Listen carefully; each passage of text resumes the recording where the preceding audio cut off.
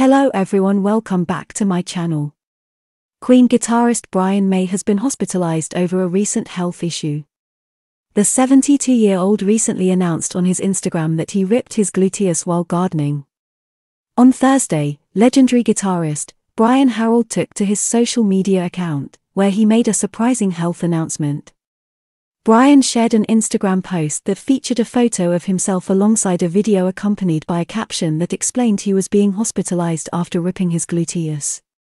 While the photo pictured May wearing a protective face mask with his grey hair on full display, the video showed him being rolled through a hospital hallway. In his caption, Brian explained that he was grateful he was not yet infected with the novel coronavirus. He also explained how he got his injury when he wrote, I managed to rip my gluteus maximus to shreds in a moment of overenthusiastic gardening.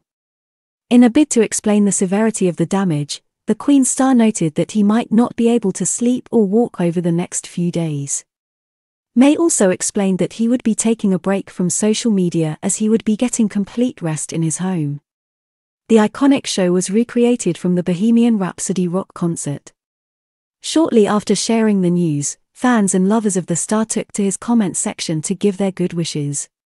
While one fan wrote that Brian's accident was indeed terrible, he noted that he was sure the 72 year old would get through. Another user wrote, We'll miss you. Take care and rest up. Before his announcement, May shared a couple of videos where he was seen playing his guitar while speaking about the COVID 19 pandemic situation in the United Kingdom. Earlier in February, Brian's band, Queen, held a concert in Sydney as part of their contribution to raising funds for victims of the Australian fire.